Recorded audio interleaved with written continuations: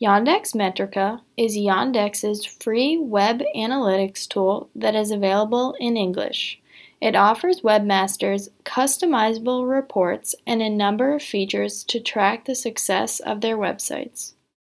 Yandex Metrica is especially useful for Yandex Direct advertisers who can then unlock additional metrics in their interface, including depth, which is pages viewed, and conversion rates. Yandex Direct advertisers can also couple their use of Yandex Metrica to set their automated bidding strategies. In addition to this, the Yandex Direct retargeting feature can be utilized after installing Metrica.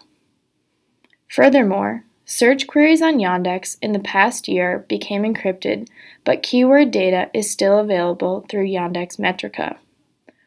Yandex Metrica users may also take advantage of some of the unique tools, including WebVisor, which records videos of users' actions, heat maps that records clicks, and scroll maps that helps webmasters decipher the right length of their page.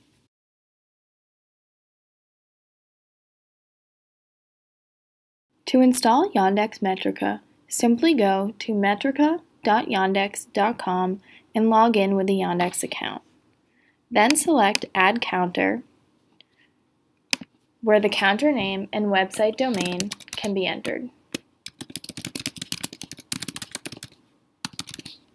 Following that, the user agreement will need to be accepted and notifications can be set.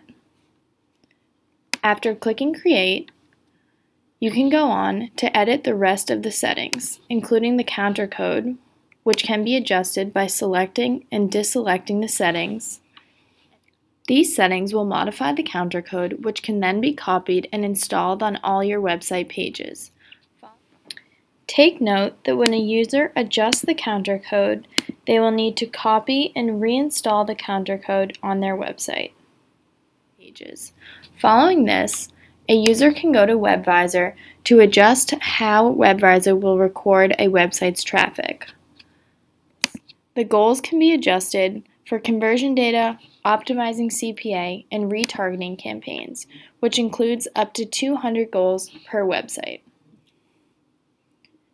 After Yandex Metrica is set up and any other filters have been added, the user can access the dashboard for customizable reports, viewing maps, WebVisor, and changing their settings. You now have a basic overview of Yandex Metrica.